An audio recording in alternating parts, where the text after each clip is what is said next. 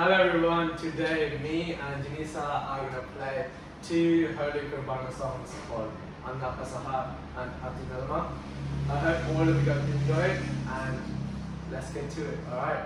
Three, two, one, go.